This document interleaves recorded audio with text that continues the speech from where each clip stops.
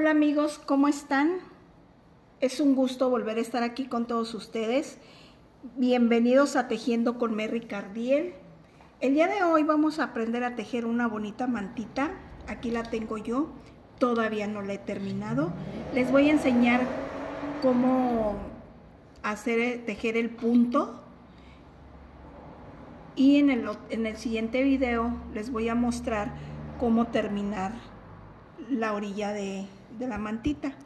Entonces, el material que utilicé para tejer esta mantita va a ser este estambre que se llama Pomaret de la marca TAM. Cada bola o madeja contiene 100 gramos, que son 210 metros. Aquí me marca que se teje con un gancho del número 4 milímetros. Yo no voy a utilizar un gancho de 4 milímetros, yo voy a utilizar uno de 6 milímetros. ¿Por qué? Porque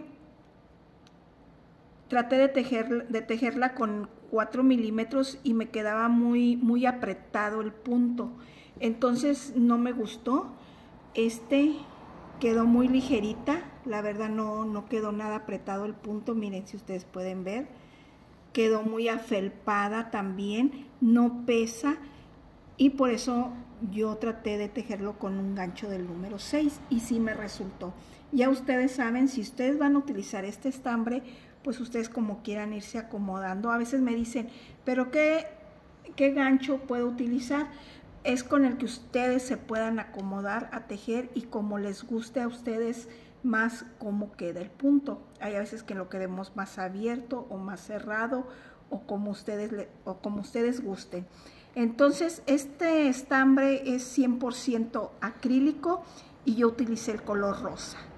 Entonces mi manta mide, ahorita la dejé así, mide de, de ancho 81 centímetros y de largo 63 porque le voy a poner una puntada de orilla que mide más o menos creo que entre 5 o hasta más. La verdad no sé porque todavía no la he terminado, les digo. Mañana les hago el video de la terminación de la mantita. Entonces, empezamos. Para yo tejer mi, mi manta, yo tejí 100 centímetros de cadena, ¿eh? Entonces aquí vamos a ir tejiendo cadenitas. Yo les voy a hacer una pequeña muestra, pero ya ustedes lo que quieran hacer el, el largo de su, de su mantita o colchita para bebé, pueden tejer 100 cadenas, si la quieren más larga, pues más. Y al último vamos a eliminar el exceso de cadenas. Yo aquí todavía no las elimino, miren yo tejí aquí 100 cadenas y es lo que me salió el de 81 centímetros, pero no me gustaron aquí estos huecos que quedaron. A ver si con la, con la puntada final se, se cierran un poquito. Entonces aquí voy a hacer una modificación. Yo aquí tejí una cadena, en la primera vuelta tejí una cadena y tejí cuatro varetas en una sola cadena. Después tejí una cadena y brinqué una, dos, tres y en la cuarta cadena hice cuatro varetas. Tejí una cadena de separación y brinqué una, dos, tres, una, dos, tres y en la cuarta cadena hice otra vez otro grupo de cuatro varetas. Entonces yo aquí voy a modificarles para que no quede este hueco. Les voy a, poner una cadena cuatro varetas, una cadena y brincamos una cadena y en la siguiente cadena vamos a hacer cuatro varetas, una cadena, brincamos una cadena y en la siguiente cadena vamos a hacer cuatro varetas.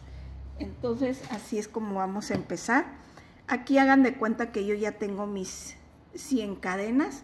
Vamos a, bueno, tejer un poquito más de cadenitas. Aquí está.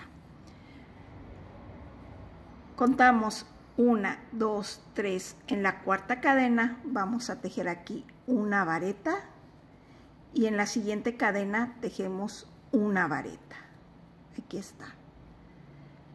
Una cadena de separación y aquí pasamos una cadena y en la siguiente cadena vamos a tejer aquí una cadena en la siguiente cadena tejemos una cadena, en la siguiente cadena tejemos una cadena y en la siguiente cadena tejemos una cadena. Así ya el espacio no va a quedar, ya cuando lo, en la siguiente vuelta ya no va a quedar tan grande. Continuamos con una cadena, pasamos una cadena y en la siguiente tejemos una vareta, en la siguiente una vareta, en la siguiente una vareta y en la siguiente una vareta. Creo que en la, ahorita en la muestra les dije tres varetas juntas, pero no, son separadas. Continuamos, repetimos otra vez una cadena, pasamos una cadena y en la siguiente tejemos una vareta, en la siguiente una vareta,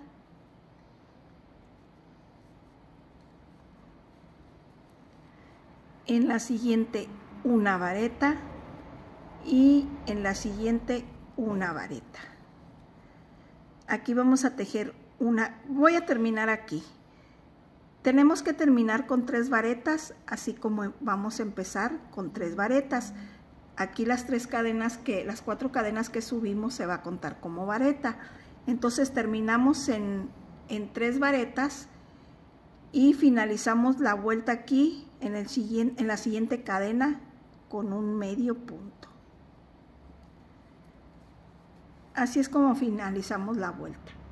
Ahora, para eliminar el exceso de cadenas que nos sobraron, únicamente tenemos que cortar aquí, pasamos una, dos y en la tercera cadena vamos a cortar aquí en la segunda cadena para que no nos quede. Ya nomás jalamos este hilito y aquí ya quedó. Ya de aquí no, se nos zafa, escondemos esta hebrita y es todo lo que vamos a hacer. Entonces así terminamos la vuelta número uno. Vuelta número dos, subimos con una, dos, tres cadenas, giramos nuestra puntada y aquí mismo vamos a tejer una y dos varetas. Pasamos una, dos, tres varetas y aquí vamos a tejer, metemos así nuestro gancho en la vareta por debajo y vamos a tejer un medio punto o un punto bajo.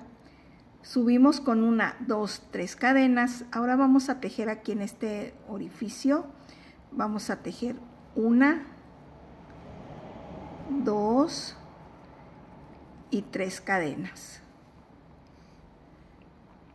pasamos una, dos, tres y en la cuarta cadena vamos a tejer un medio punto.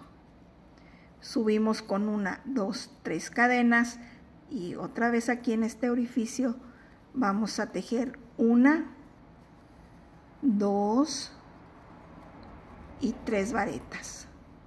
Pasamos una, dos, tres, cuatro y vamos a tejer un medio punto y al finalizar, así vamos a continuar tejiendo en las demás varetas y al finalizar la vuelta nos van a quedar estas tres varetas. Continuamos otra vez con una, dos, tres cadenas y otra vez volvemos a tejer aquí una, dos, tres varetas y pasamos aquí una, dos y en la tercera vamos a tejer aquí un medio punto. Así es como nos tiene que quedar la vuelta número 2. Vuelta número 3, subimos con una, dos, tres cadenas, giramos nuestra puntada y aquí mismo vamos a tejer una y dos varetas. Siempre vamos a tejer estas, esta vuelta, esta vuelta siempre se va a repetir. La 3 es la única vuelta que se va a repetir en toda nuestra mantita. Es un punto 3D y únicamente se repite con una vuelta. Así es que pasamos aquí una, dos y en la tercera vareta metemos aquí nuestro gancho y tejemos un medio punto. Subimos con una, dos, tres cadenas y ahora aquí en esta cadenita que hicimos de la vuelta anterior, que son las tres, tres cadenas, vamos a tejer aquí uno, dos y tres varetas brincamos una, una, dos y en la tercera vareta vamos a tejer un medio punto, volvemos a repetir otra vez, una, dos, tres cadenas y donde tejimos las cadenas de la vuelta anterior, aquí vamos a tejer una, dos y tres varetas.